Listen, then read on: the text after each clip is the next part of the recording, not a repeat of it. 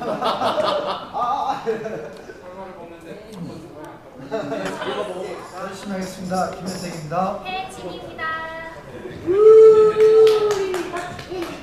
이번 1번 전화 교습 제공 오늘 불러주시기 바랍니다.